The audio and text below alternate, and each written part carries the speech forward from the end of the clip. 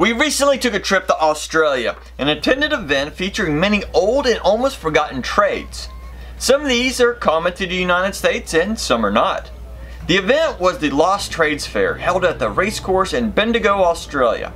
We happened to catch this event on one of the hottest days of the year where it was hovering around 100 degrees that afternoon. But these people were not going to let a little heat keep them from sharing their trades to everyone who attended. As we rounded the corner of the entrance, the first thing that caught my eye was this beautiful car. It appeared to be a fully restored Rolls-Royce race car from many decades ago. And at a closer inspection, I realized the car was actually displaying metalwork by one of the talented exhibitors. He bent and curved almost all of this bodywork in his workshop to make this car look pristine. And then my eyes started to open to the realization that the show might be better than I expected. As we moved forward, it felt like there was a sense of pride and humbleness in the air to show off these fading trades with the hope to teach the next generation before it was too late. We soon walked up to a gentleman who was spinning some wool on his homemade spinning wheel. I could easily see it was not your standard wooden version, but rather made out of metal.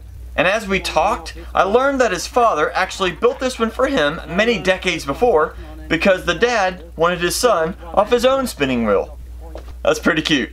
Many of the crafts involved using local canes, seed pods, and other elements you could find growing in Australia.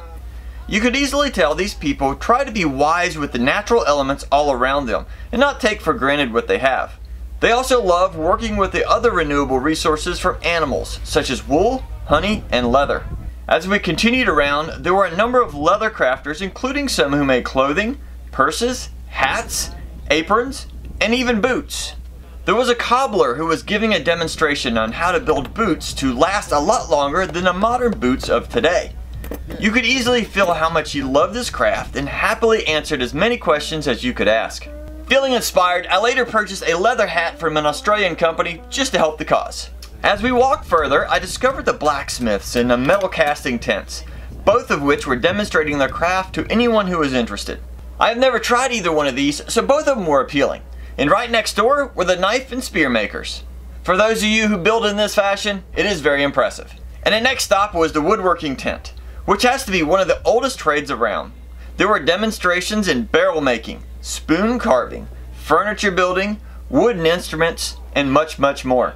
And for those of you who like turning, they had a gentleman who was continuously making products on his lathe and showing everyone how.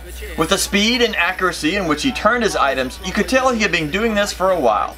And of course, he had a great Australian accent.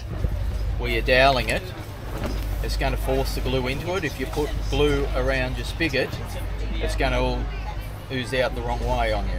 One of the biggest surprises happened when we reached a local lumber company who was selling some of their wood at the rear of the event. I was absolutely shocked at the prices for some of this high quality wood. The lumber was flattened and kiln dried for a very low cost. There were large slabs of black wood just stacked in piles ready to be purchased.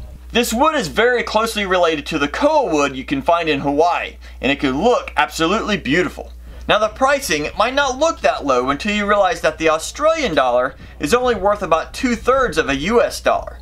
So therefore, a lot of these slabs are very well priced. Another learning lesson while I was visiting this event actually happened when I was talking to the wagon builders. I was completely unaware there are several people still working full-time in this industry. That was until I was reminded by one of the presenters of the Amish living here in the States. They continue to build and repair thousands of wagons for their communities on a regular basis. Isn't it funny sometimes how you have to leave your nation or maybe just your state to find out there's things existing just right up the road? Also while at the event, we came across a number of people playing music on instruments that they had actually built.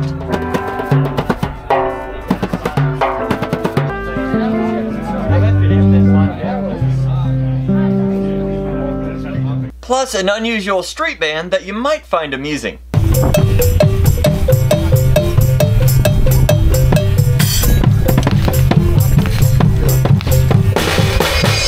One of the hardest parts about attending an event like this is wanting to learn one of these trades that has taken somebody a lifetime to learn. But we don't want these trades to disappear either. So if you're interested in a trade, just do a search online for your area. There's a good chance a class may be available within a short driving distance. Now of course you don't have to travel all the way to Australia to attend an event like this. Just Google Maker Faire and you'll be surprised what might come up. Several of these events happen in the US and around the world. Some are larger than others, but you can definitely support the ones in your area. Now I can't leave without telling you a little bit about Australia and giving you a quick review of some of their unusual animals and customs. First off, and probably the most well known is the Great Barrier Reef. It has some of the most beautiful coral and fish in the ocean. And if you ever get a chance to snorkel or scuba dive this beautiful creation, I would highly recommend it. Next up is the kangaroos.